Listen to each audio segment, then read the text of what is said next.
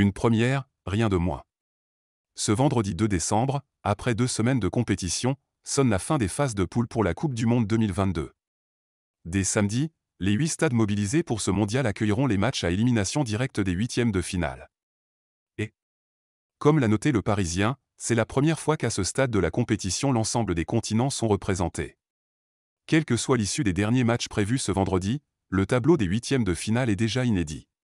En effet, elle Afrique, elle Amérique, elle Asie, elle Europe et elle Océanie sont toutes déjà représentées par au moins une équipe pour la suite du tournoi. Pour rappel, les premiers pays qualifiés sont les Pays-Bas, les États-Unis, elle Argentine, elle Australie, elle Angleterre, le Sénégal, la France. La Pologne, le Japon, la Croatie, la Corée du Sud, le Maroc, l'Espagne et le Portugal. Cette première historique est surtout liée à la présence de l'Australie pour la deuxième fois de son histoire sportive. En effet, les Australiens étaient parvenus à se faire une place en huitième durant la Coupe du Monde de 2006. Appartenant à la Confédération asiatique du football. Ce n'est donc pas la première fois que l'ensemble des zones de qualification sont représentées en huitième de finale. En revanche, jamais un pays des Océanies n'était parvenu à se qualifier en même temps que l'un de ses voisins asiatiques. À lire à USSI au Qatar. Le mondial de l'unité arabe en 2006, toujours, cela n'avait pas pu avoir lieu en raison de l'élimination de l'ensemble des équipes asiatiques dès les phases de groupe.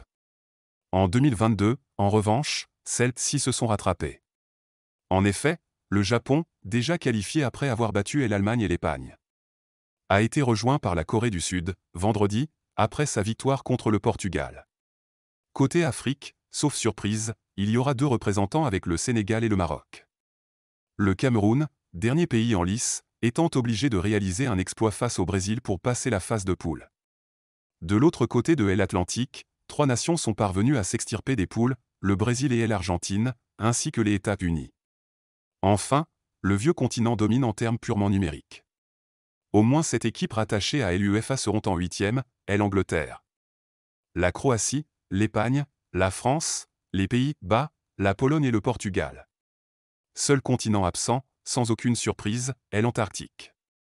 En effet, de là jusqu'à cette heure, le continent le plus austral de la planète ne compte pas d'équipe de football. À lire à USSI Coupe du Monde 2022, le Maroc réédite l'exploit de 1986.